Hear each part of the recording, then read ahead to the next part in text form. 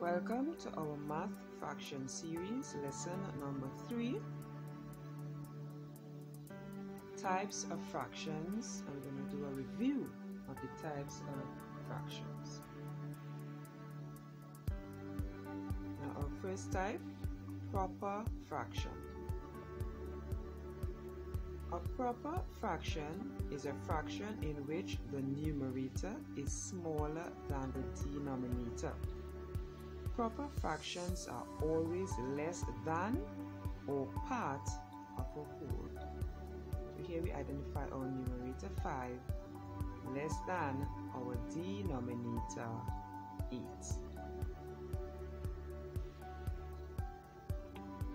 Next type, improper fraction.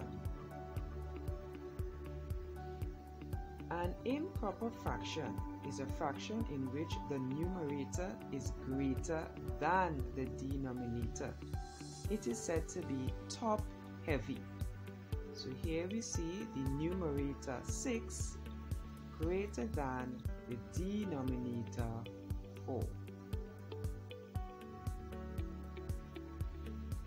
Mixed number, our last type, fraction.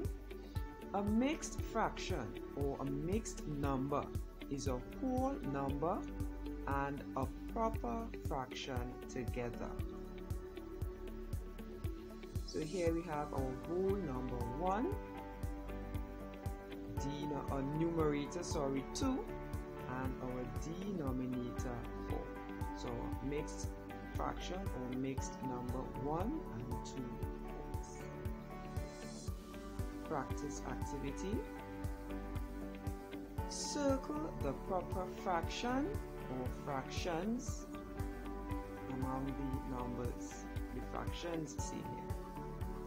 So circle the proper fractions. 4 fifths and 3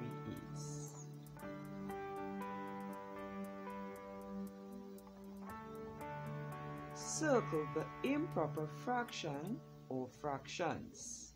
Again, circle the improper fraction or fractions.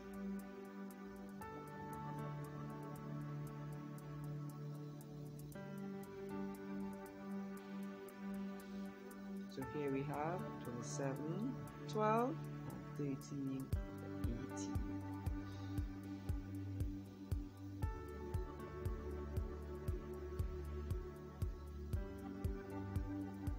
Circle the mixed fraction or fractions. Circle the mixed fraction or fractions. We've identified 1 and 4 fifths and 2 and